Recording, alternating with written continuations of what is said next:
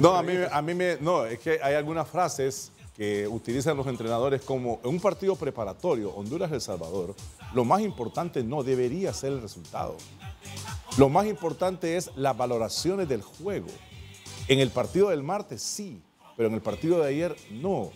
Yo esperaba ver otro tipo de cosas, de avances, de progresos, mejor asociación en el juego, mejor coordinación y van a dar mejor las jugadas. Hay una justificación que sí es valedera, el hecho de que él tiene pocos eh, trabajos, eh, pocas sesiones de entrenamiento, pero viendo la calidad de futbolistas que utilizó, porque incluso sorprendió de alguna manera que Honduras utilizara este 11, porque se manejaba mucho que iba a ser un equipo más suplente que el que iba a utilizar. Pero viendo todas las figuras, y es más, yo voy a decir lo siguiente, no solamente por Honduras, las dos selecciones mostraron un bajo nivel, preocupante. ¿Qué piensa Néstor Cruz? Eh, yo, eso, que, que la selección de Honduras jugó como creo yo que va a jugar contra Canadá.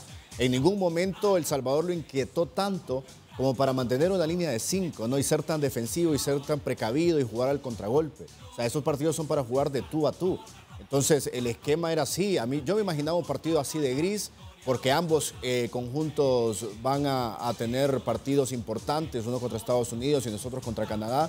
Eh, de hecho, termina jugando Honduras con un 5-3-2 como yo creo que puede ser también que inicie Honduras o en algún tramo del partido contra Canadá. Entonces, por eso eh, coincido con Orlando que lo más importante del juego no es el resultado en sí, sino es el planteamiento, ¿no? Y que se conozca, por ejemplo, la línea de tres que yo creo que usará contra Canadá, se conoce muy bien, Pereira, Denil y Decas. Pero los carrileros, Franklin Flores y Oscar Almendares, necesitan más rodaje con esta selección catracha. a mí me alegra el resultado, me alegra ganar, porque si no se gana estos partidos, igual la condena sería grosera, sería seria. Y para Honduras es importante ganar y más recordando de dónde venimos. Y poco a poco debemos ir ganando ese prestigio. En funcionamiento, definitivamente que el partido no me encantó, no creo que haya sido un gran encuentro. Eh, en las dos facetas, Honduras con la pelota, Honduras sin la pelota. Nos ha costado mucho con el balón, ¿no? Generamos las acciones que creo pretendía también el entrenador o las descolgadas o las salidas rápidas eh, recuperando la pelota. Creo que nos faltó mucho eso, recuperar un poco más la pelota. Por tramos, El Salvador tuvo más el balón, aunque no tuvo tanta profundidad.